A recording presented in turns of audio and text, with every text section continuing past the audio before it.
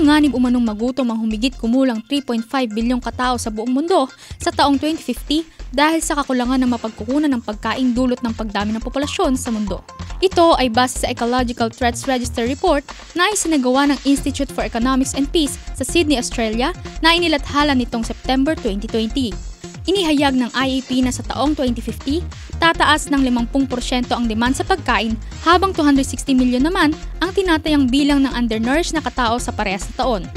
Inaral ng naturang institusyon simula taong 2018 ang 157 bansa sa buong mundo kasama ang Pilipinas upang matukoy at makakuha ng datos ng ecological threats o banta sa ekolohiya gaya ng pagdami ng populasyon, kawalan ng tubig, pagkaubos ng pagkain, tagtuyot ng lupa, baha, bagyo at pagtaas ng temperatura at level ng tubig.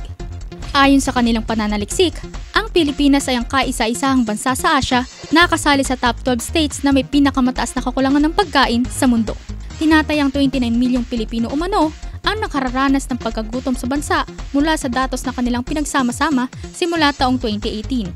Naitala rin sa ulat na ang bansang Pilipinas ay ang pangalawa sa may pinakamalaking banta ng bagyo, kasunod ng bansang Japan na nakararanas ng maraming bagyo sa loob ng isang taon. Nangunguna naman ang mga bansang Afghanistan, Syria, Iraq, Chad, India at Pakistan sa labing siyam na bansa na may pinakamaraming ecological threats sa buong mundo. El de la Cruz para sa Balitang Unang Sigaw.